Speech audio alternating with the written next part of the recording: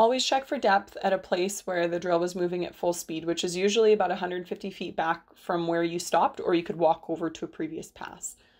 Use a seed depth tool to scrape away soil until you reach the bottom of the seed furrow or where the opener normally places seed. If the seed's bouncing out of the furrow, then the operator might need to slow down their fan speed or seeding speed.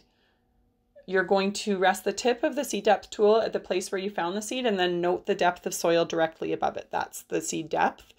Um, note as well if the same opener is placing a separate fertilizer band, make sure that the fertilizer is where it should be.